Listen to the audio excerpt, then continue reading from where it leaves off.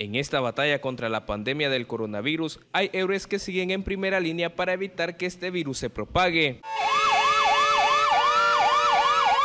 Hoy más que nunca los médicos, enfermeras, promotores de salud y todo el personal de ese ramo han demostrado que son los pilares que sostienen el esfuerzo que realizan las autoridades, incluso dejando sus familias para cuidar de los salvadoreños. A propósito, este domingo ingresaron miles de trajes que se van a distribuir para quienes están en los hospitales y unidades de salud.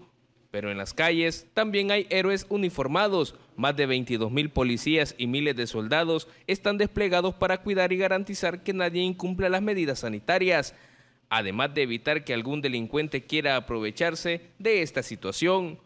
No pueden faltar los bomberos, que permanecen alerta ante cualquier necesidad, y otros que le ponen todo su esfuerzo y voluntad para ayudar en esta lucha, como los miembros de comandos de salvamento, Cruz Roja, Cruz Verde y Camilleros, entre otros. Usted, amigo televidente, también puede convertirse en un héroe para el país y sobre todo para su familia. La forma es fácil. Quédese en casa, lave sus manos constantemente, cuide sus hijos, no salga si no es necesario y no difundan noticias falsas ni cadenas de WhatsApp.